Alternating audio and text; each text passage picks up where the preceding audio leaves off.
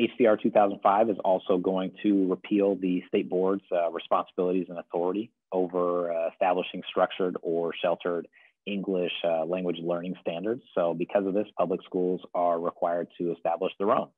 Uh, this flexibility is going to allow individual districts and schools to seek out community and stakeholder input on these new methods and programs that best suit each district and charter. So um, if you guys are interested, attend your school board meetings or PTOs to share your valuable input. So, finally, um, just due to the nature of Arizona statute and how this bill was uh, originally passed as a ballot measure um, in Prop 203 in 2000, uh, this bill would also become a ballot measure in the next general election.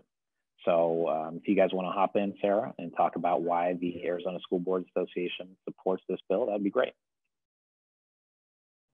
Absolutely. Um, so just with some general statistics, graduation rates of English learners in Arizona is significantly lower than those of surrounding states such as Utah, Colorado, Texas, and New Mexico.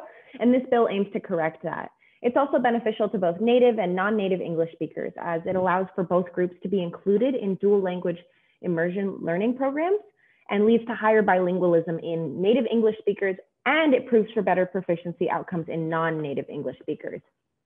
Additionally, block schedules and long hours in the classroom enforced under this current statute causes students to miss other classes, socialization opportunities, and school activities, which can cause them to fall behind both socially and academically. I know that I speak for myself and a few of my colleagues when I say that in high school and language learning programs and language classes, the best way to enhance your fluency is to speak normally with other people and casual conversation and practice in a natural setting rather than focusing on syntax and morphology.